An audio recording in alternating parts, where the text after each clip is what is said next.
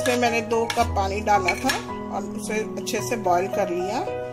Boil करने में at least पाँच से दस सीटी तो लगता है। उसके बाद इसमें मैंने बॉईल करने से पहले ये दो टी बैग्स डाले थे इस तरह के, जिससे इसका जो कलर है, इस तरह का ब्लैक कलर आता है। मसाला तैयार करूँगी। मैं तेल थोड़ा सा रिफाइंड ऑयल लूँगी, उसमें मैं थोड़ा घी भी डालूँगी। देसी घी से स्वाद अच्छा आता है, थोड़ा हींग डालूँगी।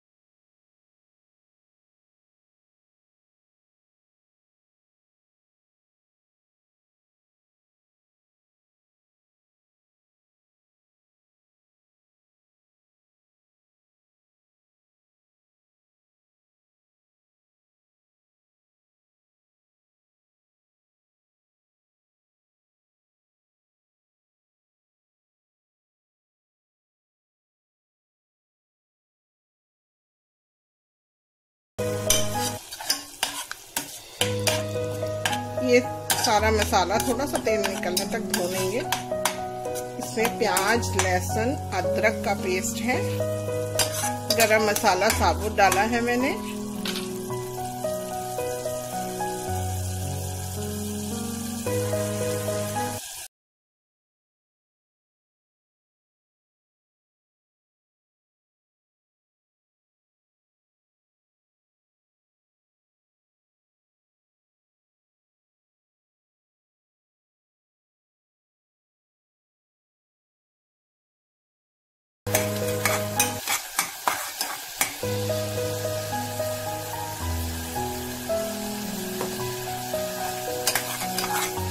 सॉल्ट और चिली आप अपने टेस्ट के हिसाब से डालिए। ये मसाला मेरा ऑलमोस्ट रेडी है। इस मसाले को मैं